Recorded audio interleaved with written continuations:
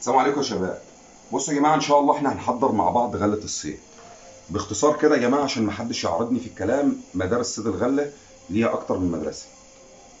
صيد الغلة يا جماعة ليه أكتر من مدرسة. أنا الحمد لله مريت على كل المدارس واللي هنقوله لكم كلام مختصر جدا. طبعا دي الغلة بتاعتنا اللي هي الإيه؟ الحنطة. أنا أوقات والله ما بنغسل الغلة دي. أوقات والله ما بنغسلها. بس النهارده عشان خاطركم أنا هنغسل الغلة. دلوقتي إحنا هنغسل الغلة دي كويس. هنجيبها لكم بعد ما نخلص عشان ما نطولش عليكم. بعد ما هنغسل الغلة دي كويس أنا مثلا دي الكمية بتاعتي ايا كانت كيلو اتنين تلاتة ايا كان على حسب المكان اللي أنت رايحه. هنعمل إيه أنا فيها؟ هنبل جزء منها أربع أو خمس ساعات. دي هتبقى غلة ناشفة. هنحطها للمراية. افرض ان أنا رايح مكان جديد وفي المية بتاعته ماشية وما فيهوش مية هنحط من غلة وسط. أنا هنطلع من الكمية دي يا جماعة ثلاث أنواع غلة. غلة للطعم أول حاجة وغلة للتصفير وغلة تانية للتصفير غلة هنخليها ناشفة عشان لو المكان اللي أنا فيه فيه سمك قشر وغلة هنخليها وسط عشان لو المكان غشيم وما فيهوش سمك نحاول نجمع سمكة. والنوع الثاني هيبقى تطعيم ونطوره أو تصفير هنجهز إن شاء الله هنغسل وهنوري لكم شكل كل نوع غلة لما يجي أوانه. حاجة هنسيبها خمس ساعات حاجة هنسيبها 24 ساعة وحاجة هنسيبها 36 ساعة أو يومين. الوقت ده مرتبط بدرجة الحرارة المكان اللي أنت فيه. يعني أنت لو في أيام حر هتزود للغلة اللي أنت عايزها طرية.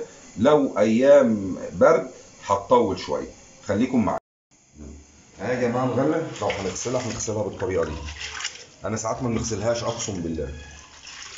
مش عايز أطول عليكم بقى هنفوق من الدعبكة ديت وهنرجع لكم تاني. يا جماعة الغلة اهي بعد ما غسلتها. هنسيب هنسيب الغلة دي إن شاء الله يا جماعة. هنسيب جزء منها خمس ساعات. خمس ساعات بس أو ست ساعات. النهارده الثلاثه يا جماعة أنا طالع نصطاد الجمعة. بنحضر غلتي من يوم الثلاث طبعا الغلة اللي معايا دي قديمة ومسوسة والكلام من ده أنا حابب الكلام ده. كل واحد وليه مدرسة يا جماعة بس أنا ما بنفتيش. انتظروني. طبعا المكان اللي أنا فيه ده يا جماعة حر جامد فأنا الغلة ديت سبتها كده أربع ساعات وهنبدأ ناخد منها شوية نحطهم في كيس. وبعد كده نحطها في الفريزر. ده هيكون أول زفر هنرميه. بعد الزفر دوت هنبدأ نرش بعد منه غلة قطرة في قطرة في علف كده يعني. تمام يا جماعة؟ انتظروني بصوا يا جماعة شايفين الغلة دي لما نيجي ندوس عليها؟ ديت يا جماعة هي الوسط اهي. دي تنفع برضو تطعيم خلي بالكم. بص لما ندوس عليها مش هتطلع المادة اللي هي الايه؟ اللي هي مادة النشا يعني. بص يا اخوانا كده ان شاء الله عدى بالظبط 20 ساعة على الغلة دي. هناخد منها الغلة الوسط. شوفوا الميه بتاعتها عاملة إزاي. الميه دي كويسة يا جماعة خلي بالكم للعجينة. ده زفر محترم كده. هناخد بقى شوية.